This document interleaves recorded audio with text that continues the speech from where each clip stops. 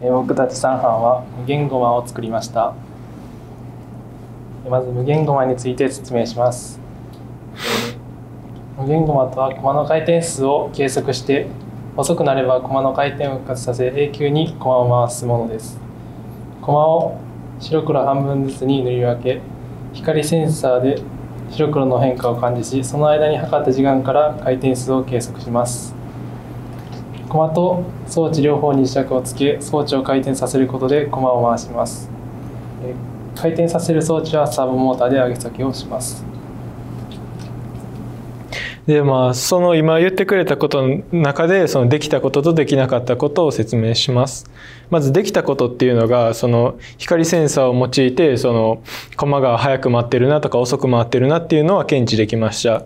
であとその駒を普通に何もなしで回すよりはその装置をつけて回した方がその寿命駒の回ってる時間が長くなるなっていうとこまでは持っていくことができました。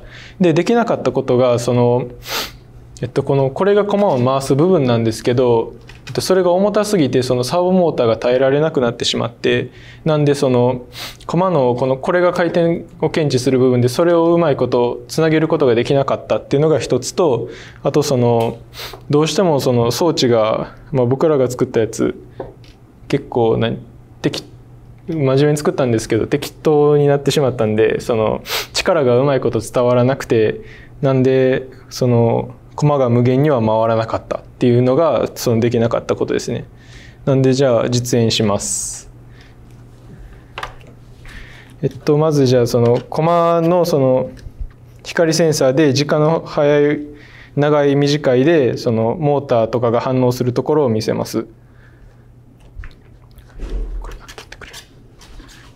えっと、まずそのコマの時間が長くなったらこの CDSL に対して時間がなくなって回るんですよ。でコマが回転が戻ったらその CDSL を遮る時間が短くなるんでこれがまた戻るっていうやつですね。で次にじゃあコマンドが速くなるところを見せます。えっとこれその時間が短い長いを測って、えっと、比較しようと思うんで、え、これ、スタート押せる？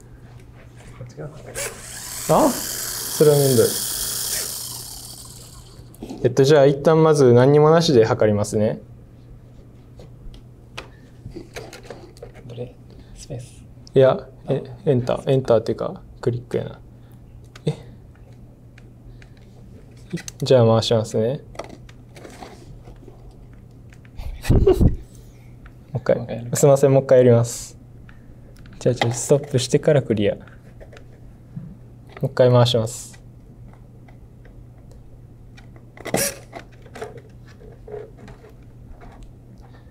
緩かったな。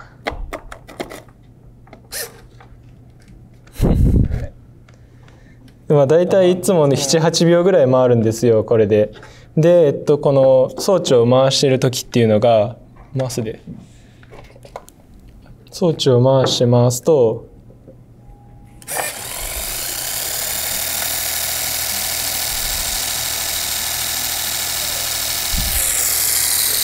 要は僕がスタート押すわ。あ。あ待ってじゃん頼んだ。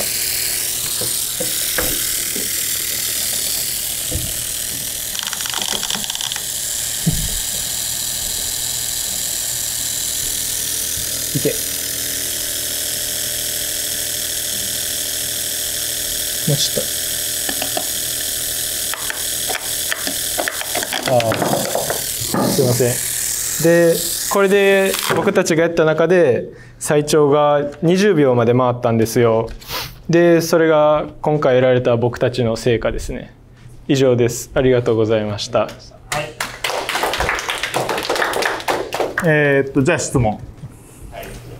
実際にそのコマの白黒の部分に反応して、はい、速さが変わるってことは現段階ではえっとそのえっとあれやね。えっとシリアルモニターで見たらその数字の変化は出てるけどそれに反応してプログラムが作動するっていうとこまではいかなかったですね。その値の変化が俊敏すぎてそのモーター下ろす上げるの間に変わってしまってデータが。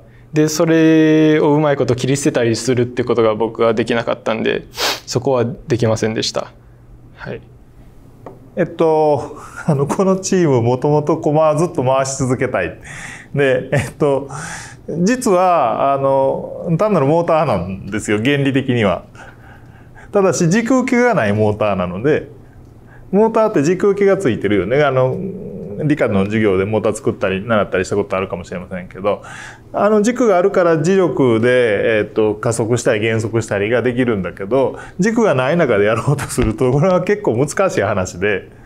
あのつまり困ってこうあの弱くなってくると再三運動って言って首振りをし始めるのであれが始まるともうどうしようもなくなってしまうとかであのそういう、えーと、結構これから多分大学の1年生後半とかで力学とかで 習うような話がもろにこういうところに引いてくるんですけどまああのよく頑張って作ったと思います。